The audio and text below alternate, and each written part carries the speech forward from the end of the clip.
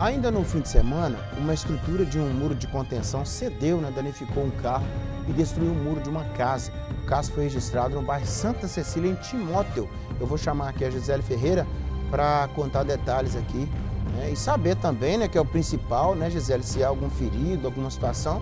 A gente começa aquela rotina de falar agora dos efeitos pós-chuva, né, Gisele? Nico, felizmente não houve feridos. O corpo de bombeiros foi acionado por volta de 11 da noite de sábado e quando os militares chegaram na residência, é, constataram ali que dois pavimentos da casa é, já havia sido atingido por uma queda de uma, de uma estrutura de uma varanda metálica. Essa estrutura da varanda metálica, ela cedeu e caiu também sobre um veículo que estava na varanda e ficou bastante danificado. Além do carro, a estrutura atingiu o muro da frente desta mesma residência de aproximadamente 7 metros, que ficou completamente destruído. Conforme os militares, foi observado ainda que no segundo pavimento da casa, Nico, havia infiltrações de água no teto da, da, da, edificação. Segundo o proprietário, na residência moram duas pessoas, ele e a esposa. E de acordo com os militares, a Defesa Civil de Timóteo compareceu também ao local e orientou aos moradores do, da casa a não permanecerem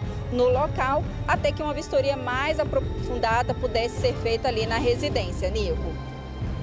É, obrigado, Gisele. Estou vendo, acompanhando lá, né? Muro de contenção. Há pouco Jairo mostrava para a gente aqui um outro caso de Almenara, né?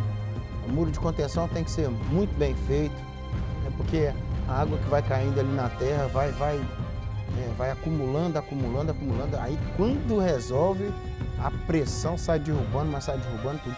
E olha que é concreta, né? Tem uma amarração de ferragem, vem tudo junto. É, mas ainda bem que não tem ferida aí, né, Gisele?